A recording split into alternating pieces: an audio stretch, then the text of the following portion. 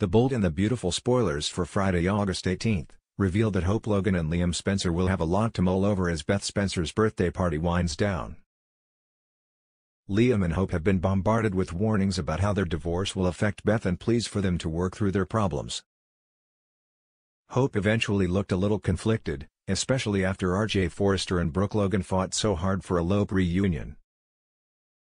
However, Liam is adamant that he can't forgive Hope for what happened with Thomas Forrester, and he doesn't even know she took Thomas to bed. If Liam is acting like this over a kiss, he certainly couldn't get past the mental image of Hope and Thomas sleeping together.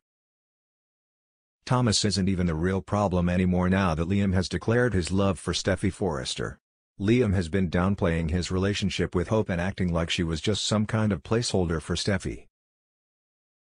Since it's clear Steffy is the only woman Liam wants at this point, there's just no logical path to a Liam and Hope reunion right now.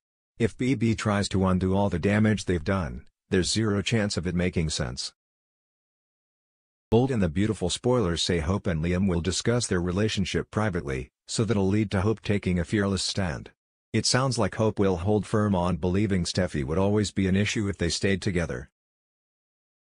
Liam will make a surprising confession, so he may admit that Hope's right about his lingering love for Steffy and how his perspective has changed.